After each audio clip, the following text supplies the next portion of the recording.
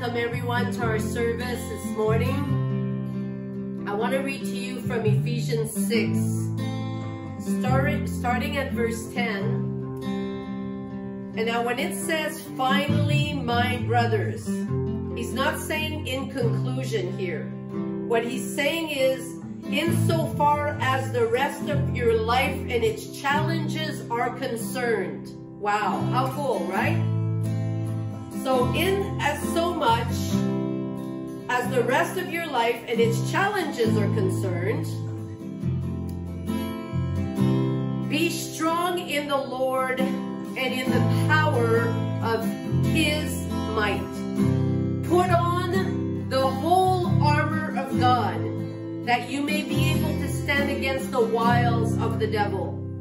For we do not flesh fight against flesh and blood, but against principalities, powers, rulers of the darkness of this age, against spiritual hosts of wickedness in heavenly places. Therefore, take up. This is a command to take up the whole armor of God that you may be able to withstand in the evil day and having done all to stand. Stand therefore, having girded your waist with truth the word of God, having put on the breastplate of righteousness, what Jesus provided, having shod your feet with the preparation of the gospel of peace, sharing with others his love. Above all, taking the shield of faith, which with you will be able to quench some, no, all the fiery darts of the wicked one, and take the helmet of salvation and the sword of the Spirit, which is the word of God. Praying always with all prayer and supplication in the Spirit, being watchful to this end with all perseverance and supplication for all the saints. Hallelujah. Thank you, Lord Jesus, that He provided for us the armor of God. Hallelujah. Thank you, Jesus. See how I'm saying? The weapon May be formed, but it won't prosper. When the darkness falls, it won't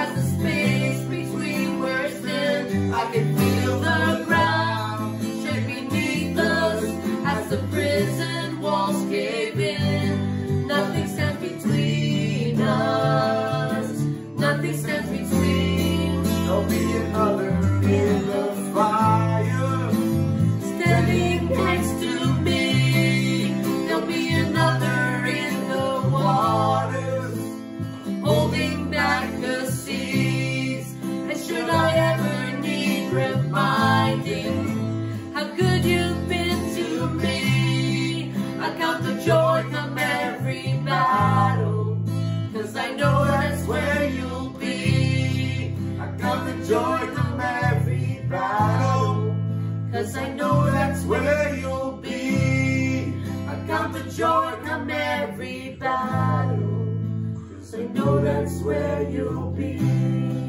I got the joy from every battle, cause I know that's where you'll be.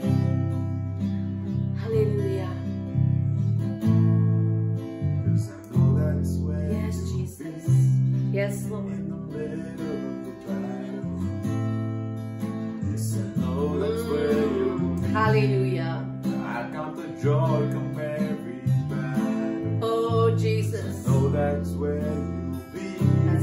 Fight our battles, Lord. Hallelujah.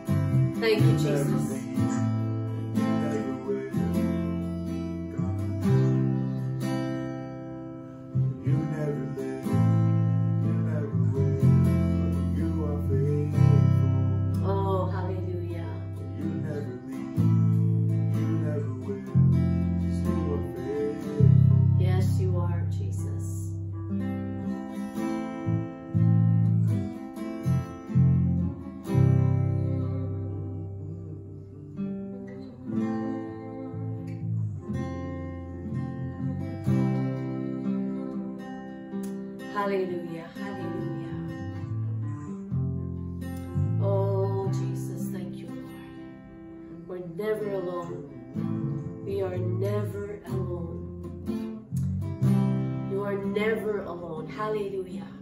He is always with you.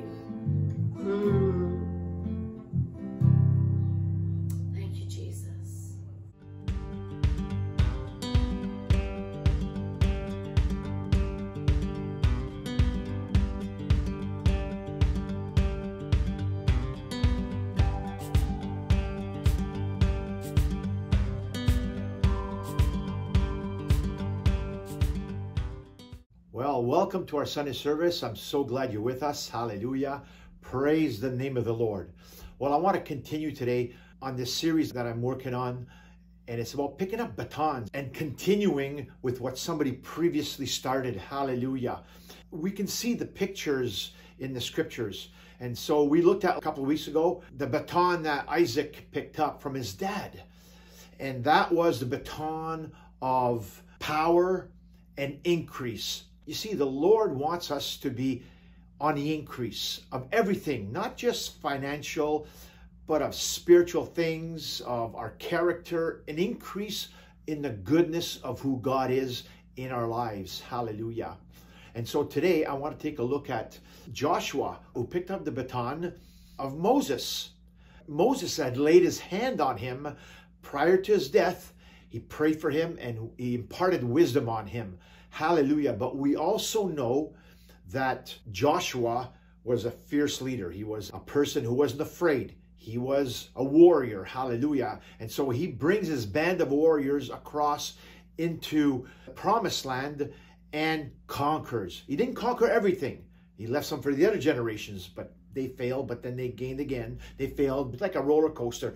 All of this in, in Judges and Samuel and Kings, it's just a big roller coaster right up and down. But nevertheless, I want to pick it up where in Joshua chapter 1, centuries before this baton was picked up here from Joshua, God had promised Abram and his descendants that they, they would be making a great nation and he was going to give them the Canaan as a homeland, as a place where the children of Israel would live, on the condition that they remain faithful and obedient. And we can see that in Genesis chapter 17. It's about following him by faith and being obedient to his word. And we see that Abraham did that when he brought his son over to be sacrificed. He obeyed God, he was faithful, even to the point where Wow, that, that just shows a lot. And it's that kind of obedience that the Lord wants us to have and faithfulness that he wants us to have for his word and for what he's telling us to do. Hallelujah. So then Abraham made a covenant with God, and his covenant was that every male would be circumcised in the flesh. Now let's take it from Genesis chapter 17, 10 to 14. It says, This is my covenant which you shall keep between me and you and your descendants after you. Every male child among you shall be circumcised, and you shall be circumcised in the flesh of your foreskins, and it shall be a sign of the covenant between me and you. He who is eight days old among you shall be circumcised, every male child in your generations, not just his, all the way through. He who is born in your house, or bought with money from any foreigners who is not your descendant. He who is born in your house and he who is bought with your money must be circumcised, and my covenant shall be in your flesh for an everlasting covenant. And the uncircumcised male child who is not circumcised in the flesh of his foreskin, that person shall be cut off from his people. He has broken my covenant. Now, today, the covenant we have with Jesus Christ in his blood is a different kind of a circumcision. It is a circumcision, but it's a circumcision of the heart. But this time, it's not just the males, it's everybody. Hallelujah. Every man, woman, and child who come to him and receive him will have that circumcision, that mark of accepting his sacrifice. Hallelujah. And this is where we begin our journey with Jesus from a circumcised perspective or a point of circumcision in our lives where we say, I'm following you, Lord God. Hallelujah. And so that circumcision is that separation unto him. Praise you, Lord. That's our identification that we are of his. As they did in the old, as they took off the foreskin of every male, that was to identify that they were circumcised unto him and separate unto him. Now we have that, from, but from our hearts. It's a spiritual circumcision. Hallelujah. Well, let's pick it up where Joshua was picking up the baton from Moses. So he was at the threshold of experiencing the fulfillment of that promise and all the promises that came, the promises of being blessed, hallelujah, and being a blessing, like he says in Genesis chapter 12. Let's go to Joshua 1. We'll read the whole chapter.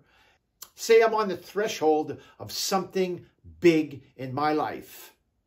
Hallelujah. Say it. I'm on the threshold of something big in my life. Hallelujah. I hope you see that today. So, Joshua chapter 1, verse 1, it says, After the death of Moses, the servant of the Lord, it came to pass that the Lord spoke to Joshua, the son of Nun, Moses' assistant, saying, Moses, my servant, is dead. Now therefore, arise, go over this Jordan. They hadn't crossed over the Jordan yet. Now he's telling them, go over this Jordan, you and all this people, to the land which I am giving them, the children of Israel. Hallelujah. So the Lord is giving them, he's giving the land, the children of Israel. It's a different way of understanding things.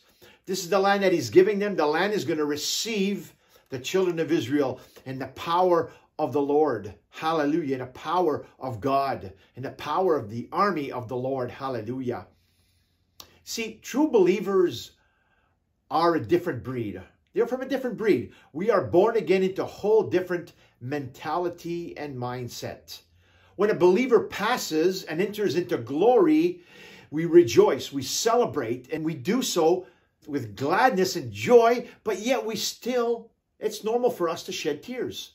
In the last chapter of, Deuteronomy, chapter 34, the people, it says, mourned Moses for a whole month. So there is a time of mourning when you lose a loved one. But we do it differently, people. We do it so differently. We do it with an absolute surety that he or she is gone to be with the Lord. Hallelujah. Now, it says, Every place that the sole of your foot will tread upon, I have given you, as I have said to Moses. What I'm getting from that is Luke 10 19. It says, Behold, I give unto you power to tread upon serpents and scorpions. See that? There's that treading that's going on. It's a verse that says, you're a conqueror. Hallelujah. You can defeat everything that's before you. And it's a scripture I can put together with verse 3 here. Every place that the sole of your foot will tread upon. Hallelujah. Every serpent and scorpion that you will tread upon, I have given you, as I said to Moses, from the wilderness. Now he's describing here the boundaries and, and where he's going to be bringing them And He says, from the wilderness and this Lebanon as far as the great river the river Euphrates, all the land of the Hittites, and to the great sea, speaking about the Mediterranean Sea, toward the going down of the sun, shall be your territory.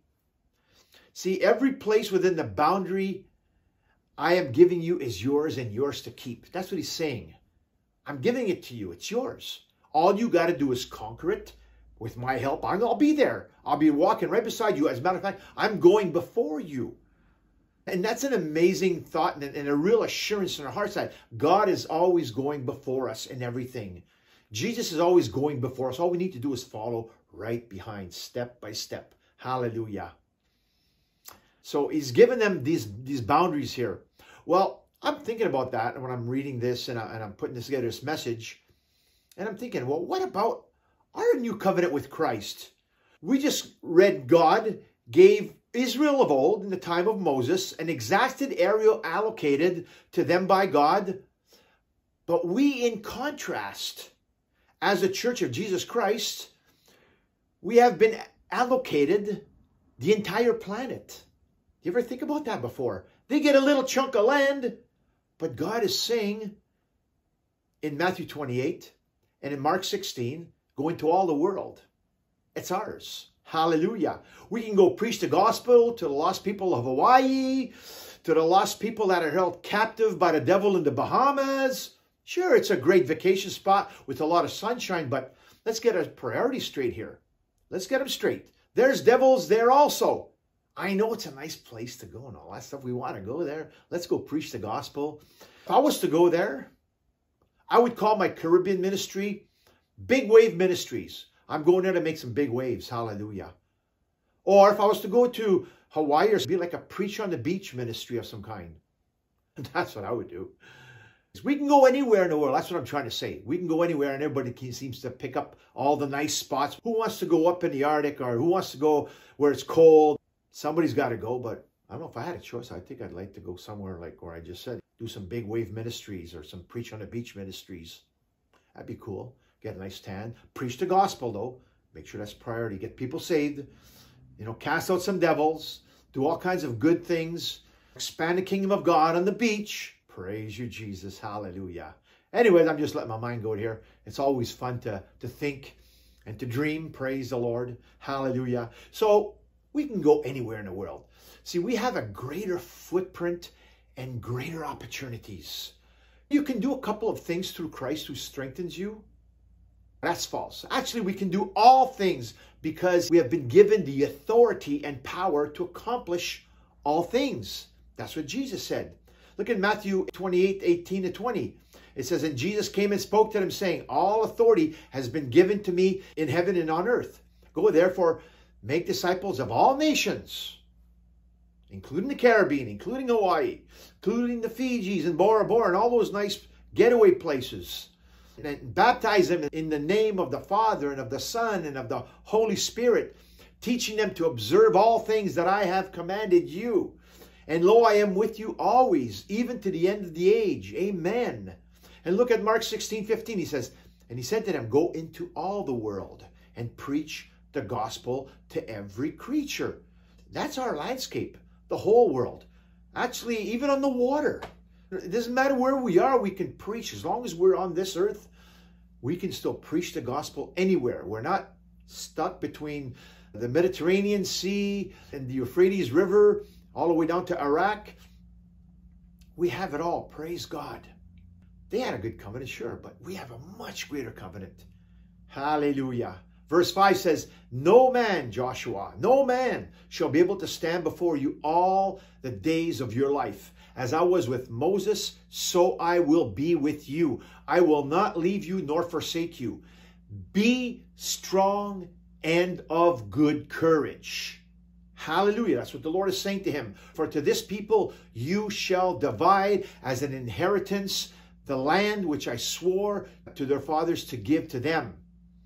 Only, again, he says it again, verse 7 only be strong and very courageous He's upping it here. Be very strong. Be strong and very courageous. You're going to have to have a lot of courage because there's going to be a lot of enemies. That you may observe to do all the things of the law which Moses, my servant, commanded you. Do not turn from it. He's talking about God's word. Don't turn from my commandments. Don't turn from God's word. Don't turn to the right or to the left that you may prosper wherever you go. In other words, if you have a dog, do you ever walk your dog? An untrained dog I'm talking about here. Don't go around like an untrained dog, sniffing into someone else's poop. That's what the picture I get from all this here. That's what God is saying. Don't go around like an untrained dog sniffing into someone else's poop. The word of God must be by our own will, leashed around our necks, hallelujah, as a sign of submission to it. When an owner doesn't train his dog properly, he's all over the place. You're going to the right, you're going to the left. But God's word says, do not go to the right or to the left. Go to where my word is leading you. Go to where I'm telling you to go. We must be submitted to God by his word. Hallelujah. So we don't go back and forth and smelling this and smelling that. You know, this world's got a lot of scents all over. Go where God tells you. Hallelujah. And then he goes on to say in verse 8, he says, This book of the law shall not depart from your mouth, but you shall meditate in it day and night, that you may observe. That word observe means to keep guard, to watch over and heed. That's what we need to do. We need to keep guard with the word. That word, we got to keep it close to our hearts. We got to watch over it and heed it. That means obey it, to do according to all that is written in it.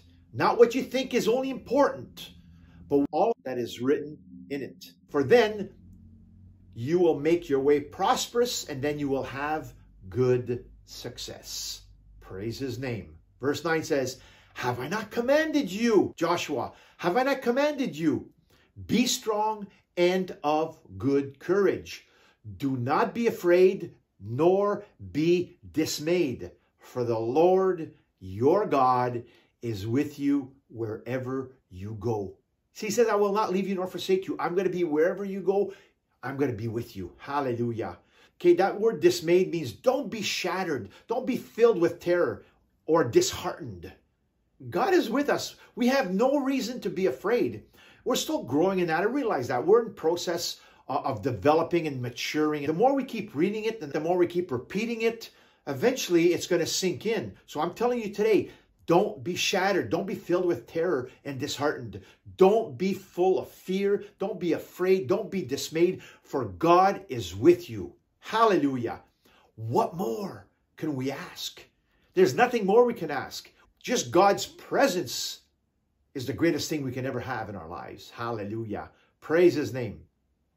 Then he goes on to say, Then Joshua commanded the officers of the people, saying, Pass through the camp and command the people, saying, Prepare provisions for yourselves. For within three days you will cross over this Jordan to go into possess the land which the Lord your God is giving you to possess. And the Reubenites, the Gadites, and half the tribe of Manasseh, Joshua spoke, saying, Remember the word which Moses, the servant of the Lord, commanded you, saying, The Lord your God is giving you rest and is giving you this land. So there's the Reubenites and the Gadites and half the tribe of Manasseh, they're already in their land on this side of the Jordan where Joshua was before he crossed over. But they're still bringing their armies to help. And then they're going to go back across the Jordan and go back to their families. He says, Your wives, your little ones, and your livestock shall remain in the land which Moses gave you on this side of the Jordan. But you shall pass before your brethren armed, all your mighty men of valor, and help them until the Lord has given you your brethren rest as he gave you. And they also have taken possession of the land which the Lord your God is giving them. Hallelujah. Then you shall return to the land of your possession and enjoy it. So it's a teamwork. It's 12 tribes which Moses, the Lord's servant, gave you on this side of Jordan toward the sunrise. So they answered Joshua, saying, all that you command us, we will do. Now, this is the people. So God spoke, Joshua spoke, and now the people are speaking. All this you command us, we will do. And wherever you send us, we will go. Just as we heeded Moses in all things, so will we heed you. Only the Lord your God be with you as he has been with Moses. And we know he was. Hallelujah. Whoever rebels against your command and does not heed your words in all that you command him shall be put to death. Only be strong and of good courage. General Joshua is now the leader. I like to call him General Joshua or General Josh. He's the leader of the nation of Israel. He has been handed the baton from Moses. He's got a baton and the spirit of wisdom on him and he's itching to get going because he's got to go to war. Hallelujah. He made it clear to Moses, I'm not a grasshopper and I'm not woke. Let's go and get our inheritance. See, when they sent the 12 spies, him and Caleb came back and says, oh man, you guys don't know what you're talking about. I'm just paraphrasing here. You have given us this land that God has given us. We can take it. It's ours. Surely we can take it. Yeah, there's monsters in there. Yes, there's all kinds of big guys and they're fortified cities. God is on our side, man. He parted the Red Sea. He did those 10 plagues and he did all those things before our eyes. If he did that there, he can do it up there. Hallelujah. We kicked Egypt's butt and sent him back to the Stone Age. And God will do the same thing to these Canaanites as we obey and walk in his ways and his statutes and commandments.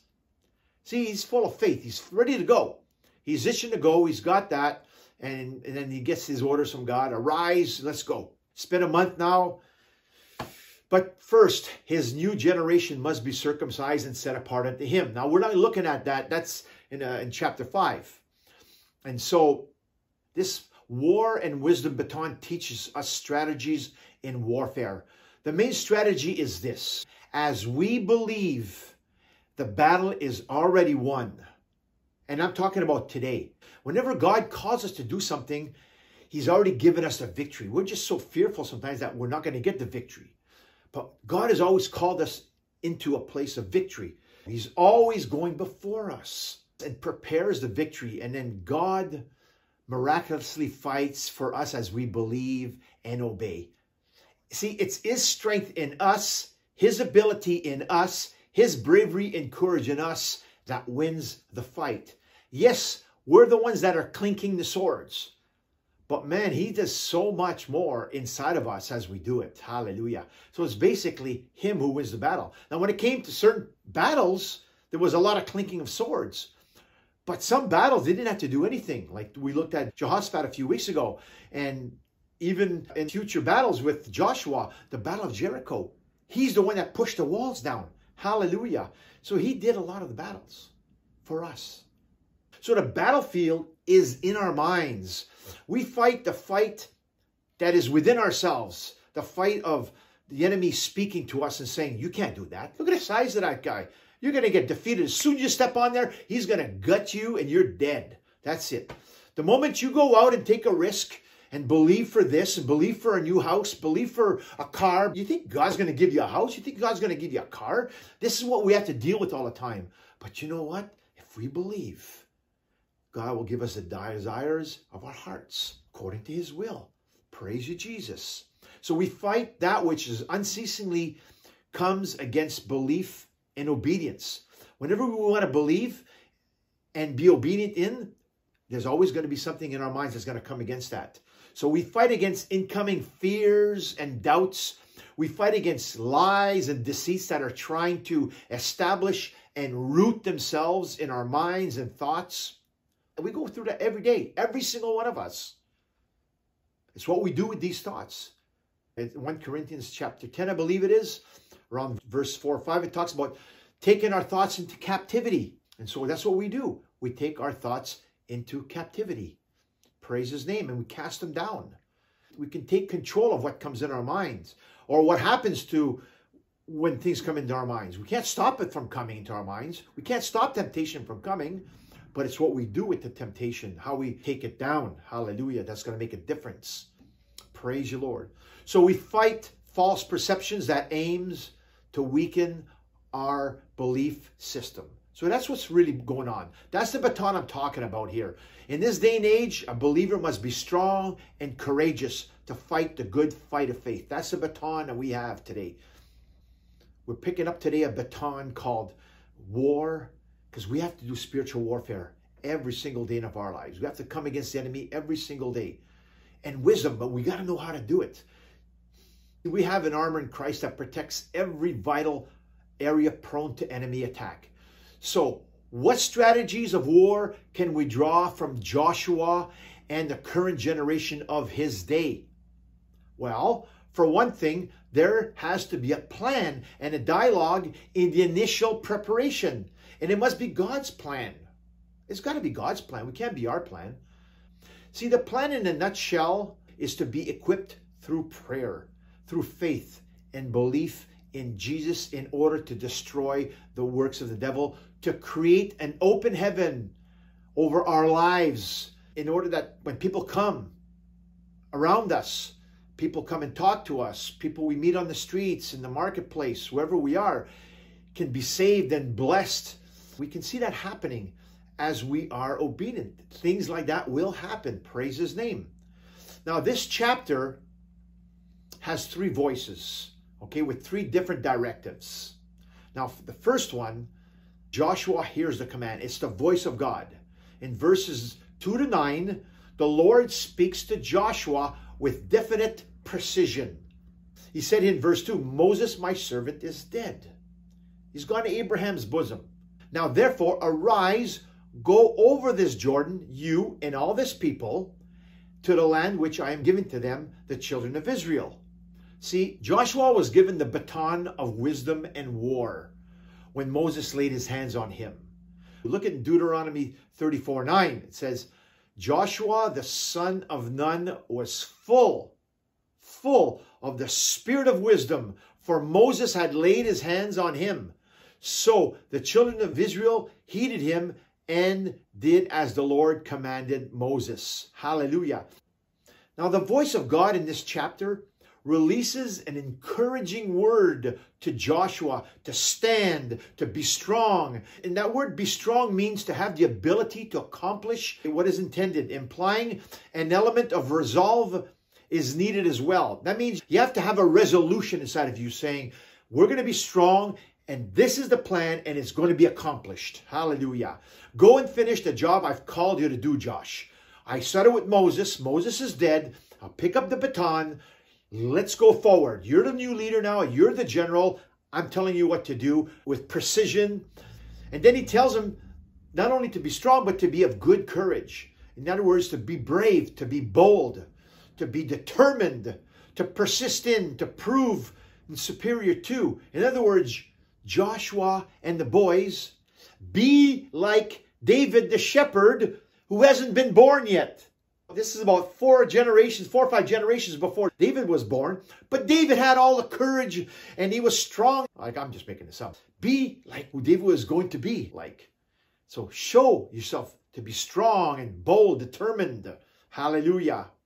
See, the voice of God is clear as it comes to his word also. And he goes on to tell him in verse 8, he says, This book of the law shall not depart from your mouth, but you shall meditate in it day and night, that you may observe to do according to all that is written in it. For then you will make your way prosperous, and then you will have good success.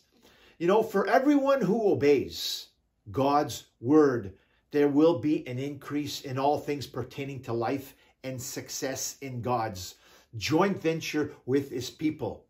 Do you realize you are in a joint venture with Jesus right now as you're listening to me? But Joshua was with God, but we are today with his son Jesus. Hallelujah. We are in a joint venture with the Holy Spirit inside of us, walking alongside with Jesus. Hallelujah. To do his will. See, that comes with knowing in your heart that you belong to him as one who is set apart to do his will. See, his laws must be meditated upon. His word must be meditated upon so that you may keep it in your heart.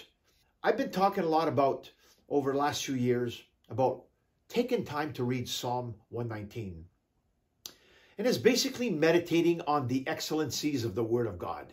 See, God's word is excellent, is excellent in all of its ways. There's so much excellencies in his word. And so everything we do as born again believers is a joint venture with God. You are not alone. And so we get to know him deeper when we begin to meditate on his word, taking time to ponder. Hallelujah. See, he's always with you, and we both have a part to play. As soon as we take one step toward God, he comes towards us. As soon as we say, yes, Lord, he works with us and he walks with us. Hallelujah. But when we don't obey, we kind of tie his hands for the plan that he has for our lives. So when we do ours, which is obey by faith, okay, then he comes in, moves heaven and earth, and accomplishes what we ask according to his will. I look at it this way we throw the first pitch, and God just hits it right out of the park. Hallelujah. You obey, he does the work. Praise his name. And for that to happen, we need to be meditators and observers of every word that God says. His word is good. It is good food. Hallelujah. Thank you, Lord. I praise you, Lord God, for the richness of your word. It is life. Hallelujah. Even right now, as you're thinking about this, what is the Holy Spirit revealing to you today as you ponder and linger on his word? What is he saying to you right now as I'm speaking about what I've been talking about? I'll guarantee you he's saying something to you at this very moment. You know, you could be listening to it and be thinking about your ball game or your hockey game or whatever it is. That's fine, but you're not going to get anything out of it. But if you're truly listening today, what I'm telling you, what is he saying right now? Because he's speaking to you right now. He's letting you know something in your heart. See, that's why he wants you to meditate, to chew on his word. Mm, his word is so good. But if you're in line with the very heart and core of that word, it will increase your faith and Jesus appears much bigger than ever. Hallelujah. Remember the diversity and complexity of the flavor of a coffee bean. They have multiple aromatic tones, we call it, such as fruity, chocolatey, nutty, spicy, even floral depending where the bean is grown in Colombia or in Kenya or in Arabia, wherever it is grown in this world, because of the soil, it will have a different flavor. But it's still a coffee bean. At the end of the day, it's still a good cup of coffee for you. It may not be so much for me, but it may be for you. And you say, that is good coffee. That is a great coffee bean. It's still a coffee bean, just had a different flavor. And so the word of God is still going to be the same. It's going to have the same conclusion. You'll just see it partially different. That's all. So just meditate on the word and you'll see where the Lord leads you. Hallelujah. He'll enrich your life. And the last thing the voice of God tells Joshua is a reminder that he has already spoken.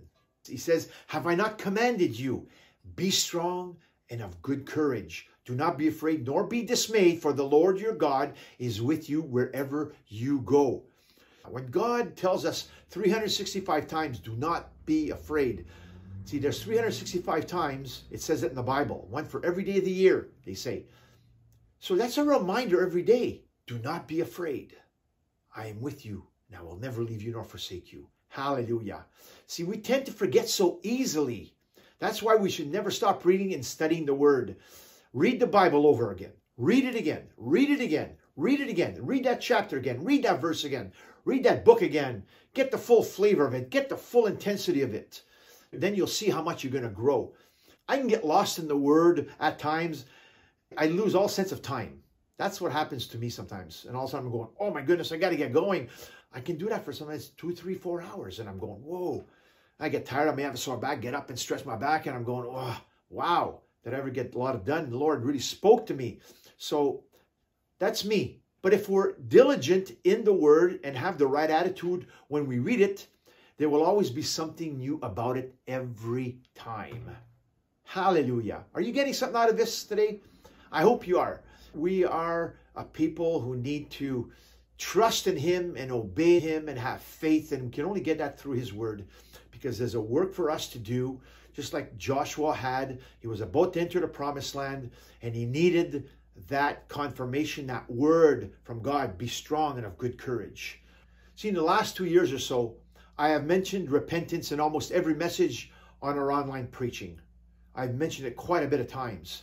And repentance is always worth repeating and reminding that we need to take time to repent because there's always going to be a need for that. We're always in process. If we're going to advance in the process of being more like Christ, there's always going to be a repentance, always going to be a shedding and a casting away of something, a, a turning away of something in our lives so that we can become more like Jesus. Hallelujah.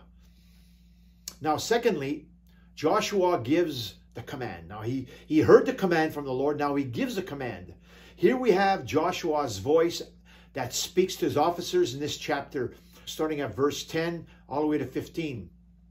Now, as the new leader of Israel, as that general, General Joshua, he gives the orders to his officers to tell the people to prepare provisions for yourselves. Because within three days, we're crossing over and we're going to possess the land.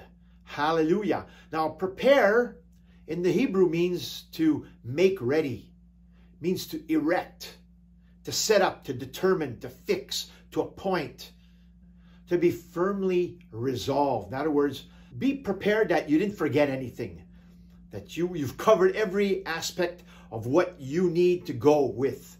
You need to go with the Word of God. You need to believe God. You need to, to bring enough food. You need to bring this. You need to bring that. Your sword, your, your shield, everything you need. Make sure your shoes are put on tight. Make sure you got your pants on. Make sure you got everything. Make sure you thought of everything. You know, when you go on a trip sometimes, you get halfway down and say, oh, we forgot this, we forgot that. We, ah. You weren't prepared. But God is saying, prepare Bring provisions. See, preparation starts only in one place the heart. We've been preparing here for a long time. All this preaching online, and I'm preparing people who's listening to be ready because the Lord is coming. And so we need to be always in preparation, in a fighting mode, not fighting with people, fighting against the enemy. It's a spiritual battle. We fight in the heavenlies. Hallelujah. So we prepare for battle in one area, fight the good fight. In another, hold on to what we've won and move on to the next area of battle. It's what we got to do. We got to learn to war. This is a war baton I'm talking about here. We need wisdom on how to fight, on how to war. We need wisdom. Joshua had the wisdom. Hallelujah. But God had also put upon him that warrior spirit upon him. Hallelujah. He had that. Everything in Christ is repetition. The next battle will require a different preparation and provision from the Lord. Personally, in my life, it was overcoming the fear and publicly speaking. But once I overcame that, I began to build upon that by being myself. Okay, I don't have to be like that person or that preacher there or this preacher, this.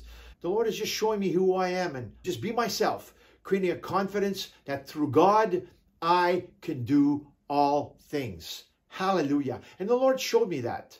The Lord helped me throughout all the years. I'm really thankful for that. See, when you realize you are weak and you bring it to Jesus, he makes you strong. Hallelujah. But he's the one, not you. It's not according to your talents. You have to always rely on the Lord before you preach, before you do anything. You need him every single moment of the day. Hallelujah. That's your preparation. Make sure your heart is prepared. Say, He's about to make me strong in my weakness. Say it again. He's about to make me strong in my weakness. Hallelujah. So it's a strength that's in me. Praise his holy name. Now, there's another command that Joshua issues to his officers to relay. He says, Remember the word. Remember. Do not forget where you came from and what God has told you. See, I put a combination of two verses here. Philippians 4.13 and 2 Corinthians 5.17. It's a combo. Just remember this. I am a new creation who can do all things through Christ who strengthens me. So it's him who strengthens me. Hallelujah. And thirdly, Joshua receives encouragement. Praise his name. Now, God spoke to him and gave him a command. And he took that command, and now he's given a command to, hey, everybody, God has given me a command, and we're going. Now, you guys need to get ready. Remember the word of God that he spoke to Moses and spoke to me. Just remember his word that you learned. So then the officers, in full obedience and unity in Joshua, said this, all that you command us, we will do. Now they're telling this to Joshua. And wherever you send us, we will go. In other words, aye, aye, Captain. We heard you, Josh. General Josh, we heard you. Hallelujah. We're going to do this. Just as we heeded Moses in all things, so we will heed you. Only the Lord your God be with you, as he was with Moses. Hallelujah. And as God is with you, we're going to keep following you come hell or high water, like they say. They were reaffirming Joshua, we're with you, every single one of us. And look at verse 18. He says, And whoever rebels your command and does not heed your words in all that you command shall be put to death. Only be strong and of good courage. And you know, verse 18 happened. Well, maybe you'll look at that at some point in time. It happened in Ai with Achan. That's another story. So they were firm with Joshua. We're going to obey you in all that the Lord has commanded. What you tell us to do, we're going to do. You got it from the Lord, you give it to us, and it's going to get done. General Joshua. Hallelujah. Imagine if every church and its members declared that in their sanctuaries. Everything I just declared here, according to what the, the officers said. What a potentially powerful statement of declaration that is in the heart of a unified local church.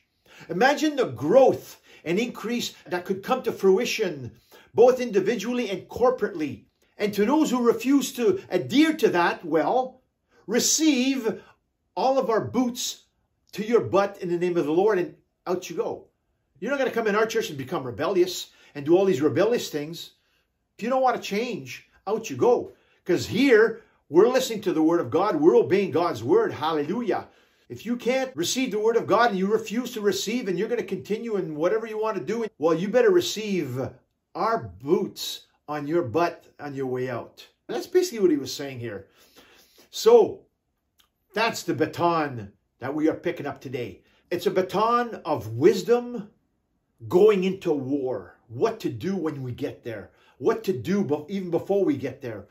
Listening to God is the first thing. Obeying the word of God is the very first thing. Hallelujah. Say with me, I have Joshua's baton firmly gripped in my hand. Say that. I have Joshua's baton firmly gripped in my hand. It's a baton of wisdom and spiritual warfare that is victorious in every battle that comes to me. Hallelujah. You see, if you did that, and you take that to your heart, you're going to be victorious because you choose to obey and walk by faith in the word of God. Hallelujah. And the Lord will be with you every single day as you do that. Thank you, Lord. Now give the Lord, wherever you are, go ahead and give him that same shout that they had when God told them to shout when the walls of Jericho came down. Hallelujah. Yes! Thank you, Lord. Father, I want to thank you, Lord, for that last shout of victory. And I just pray, oh God, that your people would be blessed with this message, Lord God, and that you would strengthen them in the name of Jesus, Lord God. Hallelujah. Go in the Lord. March fiercely by the Spirit in Jesus' name. Have a great week. And hopefully this week you will have won many, many battles in Jesus' name. Amen.